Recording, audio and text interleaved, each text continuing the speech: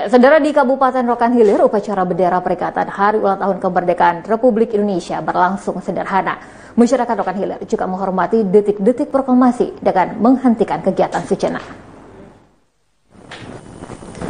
Upacara bendera yang berlangsung di halaman kantor BPKAD di Bagang Siapi-Api, Kecamatan Bangko, Kabupaten Rokan Hilir, dipimpin langsung Bupati Rokan Hilir Afrizal Sintong dengan peserta terbatas. Pengibaran bendera merah putih berlangsung secara sederhana dan hikmat. Bupati Rokan Hilir, Afrizal Sintong berharap di hari ulang tahun ke-76 Republik Indonesia ini, negara Indonesia makin tangguh dan tumbuh di tengah situasi pandemi COVID-19.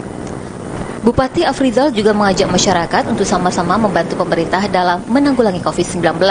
Tentunya kita juga berdoa kepada Allah Subhanahu wa taala supaya Covid-19 uh, ini cepat berlalu ya, cepat uh, uh, diangkat dari muka bumi ini supaya masyarakat kita tentunya masyarakat seluruh Indonesia khususnya Kabupaten Rokan Hilir supaya dapat melaksanakan kegiatan seperti biasanya.